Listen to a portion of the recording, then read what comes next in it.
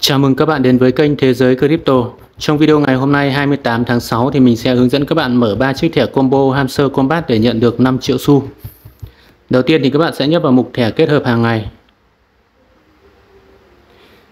Tiếp theo thì chúng ta sẽ tìm ở trang thứ ba này.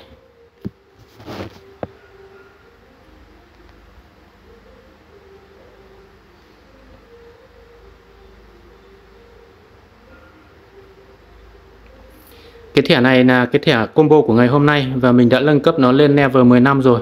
Cho nên là nó tốn đến 25 triệu xu. Cái thẻ này nó quá cao thì mình sẽ không mở cái thẻ này các bạn nhé. Chúng ta sẽ đi tìm ở trang số 4 nào. Còn hai chiếc thẻ nữa thì ở trang số 4. Đây là cái thẻ của ngày hôm nay nhé. Thẻ này mình cũng đã nâng lên level 11 và tốn đến 42 triệu xu. Thẻ này cũng quá cao nên là mình cũng sẽ bỏ qua này. Còn một chiếc thẻ nữa nó cũng ở trang này. Và đây là chiếc thẻ thứ ba của ngày hôm nay. Thẻ này thì mình đã nâng lên level 16 và nó tốn đến 28 triệu xu. Tính ra nếu mà ba cái thẻ ngày hôm nay mình mà mở thì nó phải hết đâu đấy gần 100 triệu xu nên là mình sẽ bỏ qua ba chiếc thẻ ngày hôm nay mình sẽ không mở. Còn đối với những tài khoản của các bạn mà chưa nâng cấp lên cao ấy, nó vẫn ở cái level thấp thì các bạn có thể mở được để chúng ta nhận được 5 triệu xu nhé.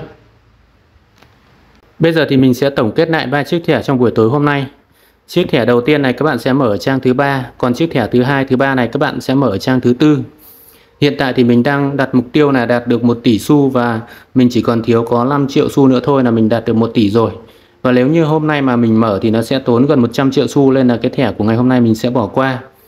Bạn nào chưa biết cách mở thẻ thì có thể là xem kỹ video của mình và chúng ta sẽ mở đúng 3 chiếc thẻ này nhé. Tránh trường hợp các bạn tự ý mở thẻ sai thì nó sẽ tốn nhiều xu và nó mất thời gian của các bạn.